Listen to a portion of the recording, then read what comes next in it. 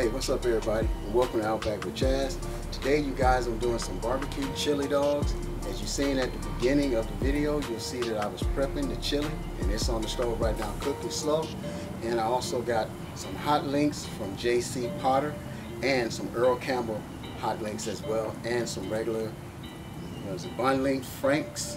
So if you guys give me a minute, I'll be back and I'll show you the meat and we'll get this smoke started. Back in a minute.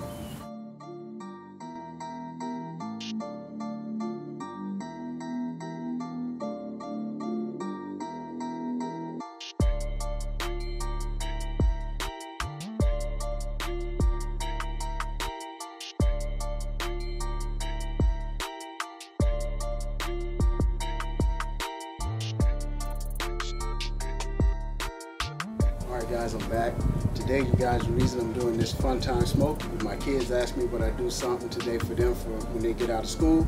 So I decided to do some barbecue chili dogs, but I also threw in the hot links from JC Potter and Earl Campbell, so to see how that would taste with the chili. So if you guys give me a second, I'll open up the grill and let you see how the meat is cooking out thus far.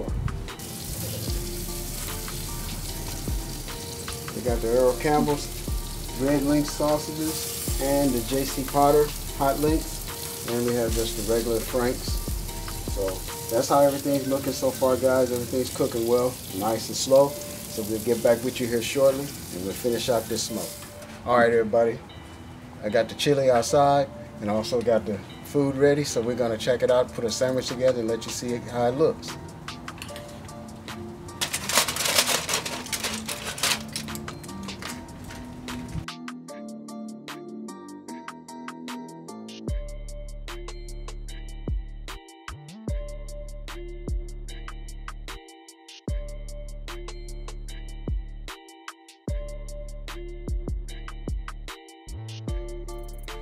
All right, guys, I'm back. And as you can see, the hot dogs and the hot links are now done. I have the chili on them.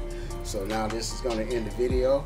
And if you guys like this video, hit the like button, the share button, and the subscribe button.